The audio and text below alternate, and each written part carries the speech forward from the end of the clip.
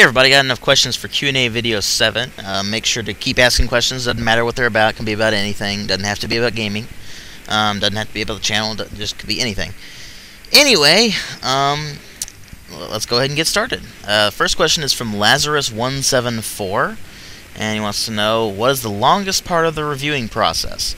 And he mentions different things like scripting, recording, uploading, establishing the opinion, actually playing it, etc typically the longest process is of course playing the game um, unless it's a really really short game. Uh, I don't really think I've had any like like that so far. But um, generally playing the game and I, I, formulate my opinion as I play the game. So um, th that's more of a two-in-one deal. But I don't script so I, I, just do things off the top of my head like I don't even have a script for Q&A I don't script anything really uh, hence why stuff sounds a little bit more, I guess, natural flowing and uh, probably sounds a little bit more stupid than if I had scripted it, but oh well. Anyway, um, next question is from Omega Wolf Studios. I spelled my name wrong. It's DW Terminator, not Terminator. Anyway, uh, can you please tell your fans your opinion on the console war from a PC gamer's point of view? Um, most of you know that I am a PC gamer. I pretty much always have been when it comes to gaming.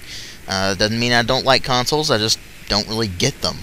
Um, so now I started gaming back during the big console war, which was between Sega and Nintendo, between uh, the Sega Genesis and the Super Nintendo. So that was those were some great times, let me tell you, because uh, out of those console wars, you got some really really great games. Uh, unfortunately, there was a lot of exclusivity and that kind of thing. But um, anymore, the console wars are kind of stupid. Just because everything gets released on across all consoles now, or at least everything that's worth playing, really. Uh, you don't really see many exclusives anymore that are really differentiate from exclusives on other consoles. I mean, like you got Halo on the uh, the Xbox, and you got uh, Killzone on PlayStation. I mean, whoop de doo, right? They're both fairly similar, they but in a lot of ways. But anyway, so anymore, they're kind of stupid. Uh, if they had put more emphasis into exclusives and really making games better, then that might be uh, uh, that might change my opinion on it. But right now, they're just kind of stupid and unnecessary. Um, and the fans really get on my nerves, by the way. Uh, let's see. Meta Itachi asks, "What's your least favorite thing about PC gaming, other than the lack of focus on it?" Um, it's like, for example, updating specs, perhaps crashing, that sort of thing. Well, bugs and crashing are certainly annoying. Uh, you can generally work around those, though. What really bothers me is updating the specs. Uh, and it's because it's so expensive to upgrade half the time and by the time you do upgrade, it's pretty much obsolete the next day. So, at least when you're in a good time of PC gaming. Uh, when you're not in a good time of PC gaming like we are now, then, uh, like, my system is two years old, still maxes everything I throw at it. Granted, I do game at uh, fairly low resolution, but still, if I can put everything on the maximum except for the resolution and still get top-notch performance, um, or at least to my uh, playability level, then um, it's kind of bad for PC gaming because those upgrades really drive PC gaming, and um, when they start uh, leveling off and basically becoming stagnant, it really just is detrimental for the for gaming as a whole. Um, next question. I've got two more questions from Meta Itachi. The first one is, what games do you think of off the top of your head you would like to showcase showcase as innovative? I can't talk today very well. Anyway, um, innovative um, Portal was a really cool idea. You don't really see stuff like that. It wasn't a great game, but it, was innovative in the concept, and I liked the humor. Uh, so that was kind of cool. Uh, Deus Ex is really good um, for innovation because it was one of the first really successful blends of RPG and first-person shooter, and it works really, really well. Um, as for other things, um, Battlefield 1942 was innovative at the time because we really hadn't seen fights that massive, which included vehicles. I mean, we had tribes, but it, that was different. That was all infantry combat. When Battlefield 1942 came out, the maps were gigantic. You had vehicles and everything, so that was really cool. Um, and of course, there's the stuff that's innovative for its graphics. I mean, Crysis um, at the time, Quake engines and all that kind of stuff. But um, if you want some really, really good innovative stuff, uh, you might want to go with the uh, indie market. I mean, there, there's a few there that really just blow you away. Like um, The Last Express, it was kind of, a, I guess you'd call it an indie game.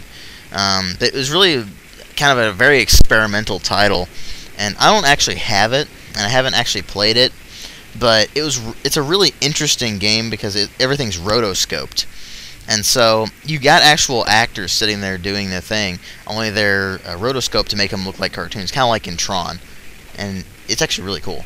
So there's a few things here and there, but I, I really don't play all that many innovative games, at least not anymore, because it's kind of hard to find stuff anymore that's really hasn't been done before, you know. Anyway, uh, next question is again from Meta Itachi. Uh, what do you look forward to in the future of gaming since my predictions seem kind of bleak for now, at least for PC gamers? Um, my hope is that we'll start to see more cross pollination of genres. Uh, certain genres are really ripe for the picking. I mean, like adventure games really haven't been there, there haven't been many blends of those yet. Um, I mean, you had the blend of uh, role playing game and adventure game with uh, Quest for Glory back in the day, but you don't really see that kind of thing anymore. So I would like to see more innovation in terms of like genre uh, bending and that sort of thing. I would like to see more um, storytelling, and that's getting to be a bigger thing now. And that I'm really, really uh, liking that so far. Like especially with Mass Effect, for instance, um, telling a long saga is actually really something that you don't really see in gaming a lot, and we're starting to see it more and more and more. So I'm hoping we get to see more of that kind of thing. I'm, I'm liking the more mature storylines we're getting, the more uh, in-depth ones that we're getting, um, and and you're starting to see, since graphics are kind of stagnating now, you're starting to see a little bit more emphasis on gameplay uh, again, and I, I'm looking forward to that kind of thing. And so, of course, like gaming-wise, uh, just games in general, um, I'm looking forward to stuff like Deus Ex Human Revolution, the throwbacks to the old games that in their own ways improve on things that were in the older ones and then still manage to hold their own, that sort of thing. So I'm looking forward to that kind of stuff. But I'm not looking forward to cheap cash-ins like the new XCOM game, which is not going to be anything at all like XCOM. Anyway, um, next question. I've got two questions from MJ1284. The first one is, if you were given a task to come up with a new game that combines features of two separate genres, what would make the most interesting combination? Um, well, adventure games and role-playing games. Uh, th that's something that really hasn't been explored a lot. So if they were to meld those two genres, it'd be nice. Um, you've seen stuff like uh, Savage that's done uh, strategy games and shooters, and it actually works pretty well. I was very pleasantly surprised with uh, Savage one and two. Um, granted, they're online only, and that kind of bothered me, but still, it, it's a cool concept, and I'd like to see more of that kind of stuff. So maybe that. Um, but it's kind of hard to think of really, really good genre combinations. I mean, we're starting to see more um, like arena kind of stuff that seems more like sports games, like uh, Monday Night Combat, for instance. Um, and I, would like to see a lot of that kind of thing, but it's kind of hard to really pick two genres and blend them together without running into a bunch of problems. And so, um, maybe an RTS and an RPG uh, I mean, it's been done before, but it, it's something that you don't really see a lot. Um, next question is again from MJ1284. Uh, how long or since when have you been into PC game? Well, not PC, video gaming. Um, and how many hours do you spend on video games weekly? Weekly, it just depends. Um, if I'm busy, then I tend not to play that many games and end up playing maybe 10 hours a week. Uh, if I'm not busy, 20 plus, maybe 30 40. It really just depends on whether I have absolutely nothing to do or not. So, because um, I do spend a lot of my free time gaming, and I, I just like doing it.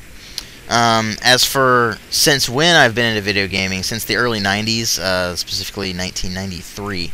So I pretty much started gaming on Doom, and uh, so obviously PC gaming from the very beginning. Um, and uh, well, actually, uh, that was the first PC game I really got into, and I was playing Atari 2600 games before that. Uh, not much longer before that, but I, I was playing uh, Atari 2600, and I love that thing. Um, really fond memories of that Atari. Uh, and I actually got it back, so I can actually go in and do more videos and stuff like that. But uh, I've been in gaming for a while. Um, about, what, 20 years or so? Well, getting close to 20 years. So, there you go. Um, toforto3 asks, What do you think about World of Warcraft Wrath of the Lich King? Is the game worth playing? How much are people vulnerable to addiction to WoW? First off, I haven't played Wrath of the Lich King. I don't want to play it. It's an MMO. That kind of answer your question about is it worth playing? I don't like MMOs. They're just time sinks. They're stupid. They're ugh, so many things wrong with uh, MMOs. But how much are people vulnerable to addiction? I don't know. Um, it's kind of hard to really say that because. Um, if you look at it and you're like, okay, who gets addicted to World of Warcraft? People who are really, really lonely or really, really, really bored. And so, I guess if you're extremely bored or extremely lonely, then you might like World of Warcraft, but I don't know. Um, I, I, have the whole monotony problem that uh, keeps me from playing that kind of thing. So, anyway. Um, Kalashnikov96. Kalashnikov. Um, anyway, uh, asks, what, if any, real-time action RPGs do you like? because I don't like a, uh, Diablo and Oblivion, wondering which ones you actually do like besides Mass Effect and Dragon Age. Um, I don't consider Dragon Age an action RPG. The second one is, but the first one isn't. Um, as for which action RPGs I do actually like, um, The Witcher, if it's considered one, um, is a really well done uh, action RPG. Um, apart from that, I just don't really play that many action RPGs. Uh, most of the ones I play are the more old school variety. They're the party based, they're kind of slow paced, that kind of thing. So I really don't play a lot of action RPGs. But um, if I had to choose some, I guess, I guess if you can call Gothic um, action RPGs, because some people consider them action RPGs. Um, apart from that, had Alpha Protocol not been so irritating with the uh, uh, mini games, it would have been fun. I liked Jade Empire a little bit. Um, it wasn't as good as other Bioware games, but I liked it. Um, Dark Messiah, Might and Magic, I, I really like that game. Um, Mount Blade as well. I'm a fan of Mount and Blade. In case you've seen my reviews of those, um, if you consider those action RPGs, but I really just don't play a lot of those. Um, and then finally, a question from Taske. What do you play your PC games with? He's talking about like input, as in mouse and keyboard, keyboard only, gamepad, etc. Uh, if you play with a gamepad, what kind specifically? Well, I haven't played with a gamepad in years. Um, basically since the 90s, so that kind of sets that apart. Um, I haven't tried gaming with my uh, Xbox controller yet, but I'd probably try with the Xbox 360 controller that I have. Um, other than that, usually mouse and keyboard, unless it's an older, older game, like a platformer or a uh, one of the early first-person shooters that doesn't have up-down look. Um, in those, I actually uh, use just the keyboard. Uh, gotta do it old school, guys. Um, anyway, so there you go, folks. That's uh, Q&A video 7. I hope you guys liked that, and make sure to keep asking questions. And I'll catch you guys in later videos.